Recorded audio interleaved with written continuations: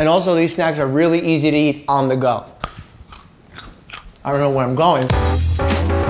So today we're gonna be talking about what I eat in a day. I've seen a lot of your comments, I've seen how excited and interested you are about nutrition. I'm gonna be showing you exactly what I ate yesterday. Most of it's not home cooked, it's not fancy, but it is nutritious and it's food that I genuinely enjoy. It's time for me to go into the hospital. It's gonna be a crazy day because I'm starting super early and I have a really late day. But when it's a gorgeous day like this, it definitely makes it a lot easier. So for breakfast today, I'm doing one of my favorites, avocado toast with a little smoked salmon. Get your essential fatty acids in it. Ah, uh, mmm, ah, uh, so good. Look at that. You want a bite? You want a bite? No, for me. Breakfast. I got all the syrup. I got, I got all the syrup. It's known as the most important meal of the day, but not everybody wakes up with an appetite, so I understand if breakfast isn't for everyone. But if you do eat breakfast, you're getting a lot of health benefits throughout the day.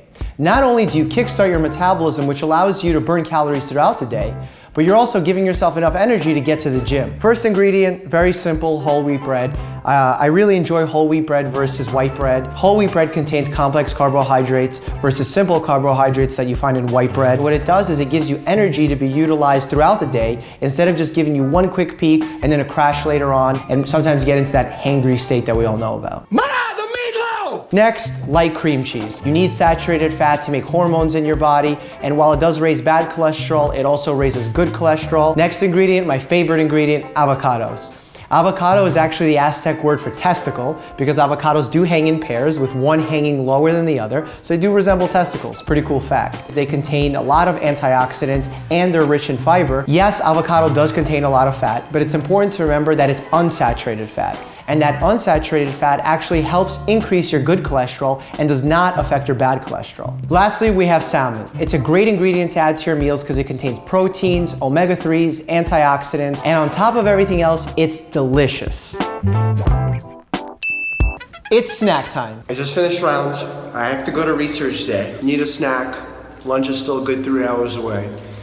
I really like the Perfect Bar because made of good quality ingredients. I'm not their spokesperson, but I'm definitely a big fan. They contain a lot of protein, they're made with good quality ingredients, and because they have to be refrigerated, you know there's no preservatives.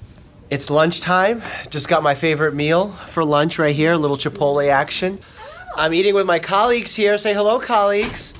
They say hi. While some doctors go to the cafeteria, if I'm not on call, I like to get out of the hospital for a bit, so I do run out to Chipotle.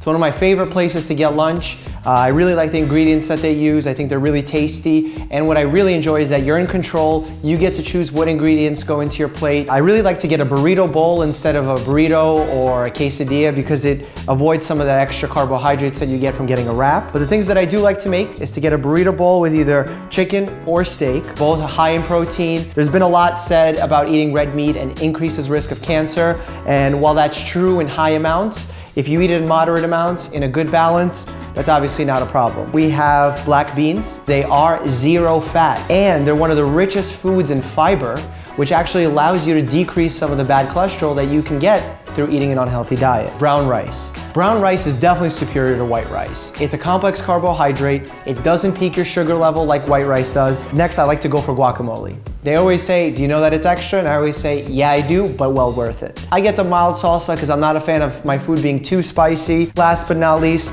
I love cheese. Gives you a little bit of calcium, a little bit of vitamin D. Overall, this is a nutritious meal for someone that shares my goals in trying to keep weight on and build muscle. You have a good mix of complex carbohydrates, proteins, vitamins, fiber, all great nutrients. But it's important to note that these meals do contain a lot of sodium. Chipotle is known for that and now they started putting their sodium content on the menus. So keep that in mind because excess sodium can put extra pressure on your heart and kidneys. I am an athlete and the rest of my day I don't take in much sodium. So I think it's a great meal for me, but just again, keep that in mind that the sodium content in this meal is high. You know what time it is? It's snack time again. Got my carrots and nuts perfect healthy snack. What's beautiful about these almonds right here is that they contain vitamin E, fiber, they keep your hair, nails looking fresh. The carrot, mm, you know, you know I love carrots. Carrots are rich in vitamin A, known as beta carotene. Almonds, great unsaturated fats, vitamin E, great uh, food to eat for healthy hair, nails, and skin. And in general, I just think that they're fun to eat.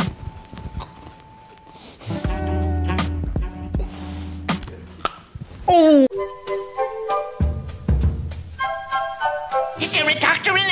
Just ordered some sushi.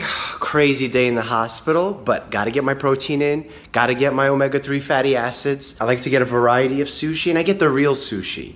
Not the sushi that people eat with the rolls and all that. Just fish on top of brown rice, very clean. It's really my favorite meal to end the day, get ready for the next day without overeating and feeling fully stuffed when I go to bed. This is my go-to dinner meal. I love fish. I love the omega-3s that they provide. There's not a lot of calories in here. I prefer eating my sushi with brown rice. We talked about the benefits earlier. You get complex carbohydrates, you get proteins. It's a clean meal. It fills you up and really it does taste great. Important to note about fish, Wild fish is better than farmed fish because it contains less mercury. There's a lot of news going around about how mercury poisoning is bad. So if you are eating farmed fish, make sure no more than three to four servings a week. So that's what I actually eat in a day. And it's not something that I eat every day. I know yesterday I consumed probably more sodium than I should have, but in general, it's balanced, it's in moderation, and that's really the smart way to go. This diet obviously does not work for everybody and I don't recommend it for everybody. If you're interested in the calories and all the other nutrients that were in my meals, check out the description down below. We put all that information there for you. And remember, eat in moderation to stay healthy.